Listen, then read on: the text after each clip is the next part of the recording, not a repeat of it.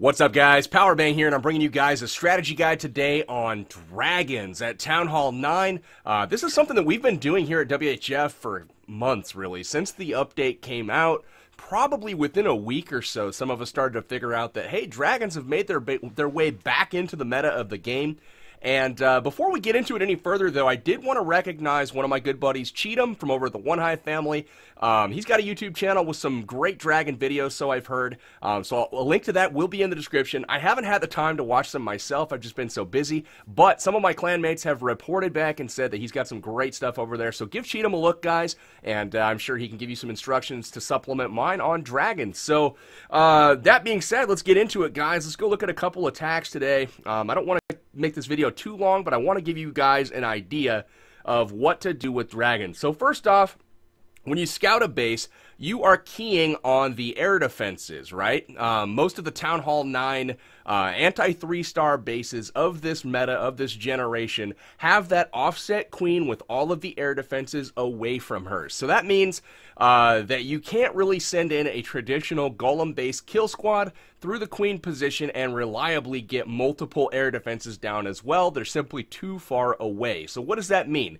Uh, split kill squads are very common. Archer Queen walks are very common. Uh, but the bottom line is that you need to focus on getting down three or more air defenses uh, in order to successfully uh, get a dragon raid off. Now, ways to do that are by using an Archer Queen walk slash charge uh, by pushing into the base, taking out a couple of air defenses. And then there's your best friend now, the Zap Quake method. That's dropping one Quake spell and two Lightning spells down uh, to go ahead and remove an air defense. And sometimes, as we'll see later in this video, you can actually use a double Zap Quake uh, by using a couple Quake spells and two Lightning spells on two different air defenses to take two of those out. Now, for this example here, Brando is going to bring six dragons, guys. That's going to be a very common number of dragons to bring in the dragon attack. Um, between five and seven is the most common. It really just depends. It's it's one of those attacks that's very very flexible in your number of troops. Uh, the first thing that you have to do is identify how many, uh, how much troop space you need uh, to bring to take out the uh, the air defenses. So Brando identifies uh, that these top two air defenses can be removed with his kill squad. He's going to bring a Zap Quake as well, which is two lightning spells and a Quake spell, and he's going to drop it on this air defense down here. Now that's going to remove three of the air defenses. That leaves one final air defense over here um, to go ahead and take care of. And in your in your clan castle, you actually have the choice of a few things. You can bring an additional uh, dragon. You can well, basically you'd have a max level dragon from one of your Town Hall 10 buddies. Uh, you could bring balloons, or you could bring a lava hound. It all depends on the pathing that's open to that defense and how quickly you think you could get either balloons in there um, or another dragon. Like if the air defense was relatively exposed, um, you might choose to just take dragons, and you know if you had a rage spell left over, you could deal with it. Um, but let's go ahead and watch Bra- uh, Brando here as he takes on Braxton. I'm almost getting their names confused. Um, take on this base. So the first thing that happens, and this is very key, you do not have a lot of camp space uh, left over for additional cleanup troops. But what you do have left over, you have to make good use of from a funneling perspective. You see, he drops minions on both sides of his funnel here, and his goal is to go ahead and get that Archer Queen into this compartment here. You'll see a wall breaker comes down to kind of test out. Uh, the location is clear. He drops in three more wall breakers, narrowly avoids the mortar, and opens up the wall. I'm not sure if that's the compartment he wanted to open up, but it's not going to matter, as he does have a jump spell that's in his composition as well. So as the queen starts to work her way into the base, uh, she's going to first key on that upper air defense. That is air defense number one. Uh, so that's the first thing that needs to happen is getting that first air defense down. Now, as she takes out this mortar, uh, you know, attention obviously is going to be paid into this compartment uh, on the bottom. Uh, a hound comes out of the clan castle. He chooses to use the rage spell here for the queen to go ahead and handle that. And as you can see, the second air defense was removed down at the bottom with the Zap Quake. So from the top, he drops a king in with a jump spell, making sure not to leave that jump spell hanging into the middle of the base, as he uh, leaves it only in the compartment where he wants that king to go. Uh, the king's sole job here is to help out uh, taking care of this air defense and then basically doing some tanking for that queen. Um, and the dragons now have come in from the top left. I'm going to pause it for just a moment to explain what's going on. Uh, the exposed Archer Queen typically does not have a lot of defenses around her. Um, when you swarm in your dragons, uh, you can actually send all six dragons at the queen location. What you want to do is kind of drop maybe one on the flank um, on each side of the main group of dragons to kind of keep that funnel going and focus them all into the base at the defenses and at the queen. Uh, the queen is low enough life where two dragons on her, one puff inside of a rage or two puffs, you know, not raged up, she is dead, and she they have too much health that they really can't do a whole lot of damage here. You'll see a hound come out of the clan castle to go ahead and tank this air defense. Now, up top, you'll notice that Queen and the King have gotten the third air defense down. The fourth one is dealt with with the Lava Hound. Now, this is great. The, the troops are approaching. Uh, you'll notice that the uh, Dragons haven't yet made their way to that air defense, but it doesn't necessarily matter. The key is to delay long enough and provide tanking cover long enough for those dragons to make their way to the air defense, take it out before it does too much damage. You're basically buying some time there. Uh, some balloons are used strategically to take out some of the defenses, um, and that is at your personal discretion. You can help shape the base from a defensive standpoint to help those dragons kind of uh, work their way to the inner portion of the base. And the, the great thing is, is on the backside, you can drop your cleanup troops if you have some. Uh, where the queen is actually acting as a tank with those healers on her. So she should survive. That is very key. Uh, she is the the main cleanup force that you have, and as long as you're able to make it through the base with her, uh, you should be good to go as far as getting everything cleaned up on time. As you can see, just ground defenses left. The dragons rip their way through them, and this is a three star for the good guys. Brando showing us how it's done. Uh, let's go ahead and look at one more example. This time, let's look at a double zap quake. And we will look at Old Snake here taking on number 25. I'll pause it real quick while we do a quick scout.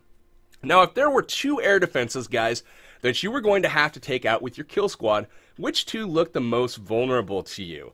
Now, if you said the bottom left, uh, that is exactly right. Look at that. Very, very easy to go ahead and approach those two air defenses, take them out with your kill squad alone, and uh, notice one of the air sweepers here is actually pointed at those two air defenses. So dragons coming from behind that will be no issue at all. Uh, notice this other air sweeper is not really pointed in a direction that's going to help uh, as drags approach from the top where the queen might be. Um, so this base is kind of ideal for this method. Now, the problem in this base is the air defense on top next to the queen. That is kind of tough to get to um, with all of these heavy, you know, hit point buildings like the town hall, the storage up top. So the dragons are going to be under fire um, by that air defense if it's not dealt with. So if you'll notice the spell composition for this raid, he's got four lightning spells, guys, and he brings a zap in the clan castle. He or it's not a zap, excuse me, a quake in the clan castle and a quake in his army. Now if you can reach two air defenses at the same time with the Quake. For example,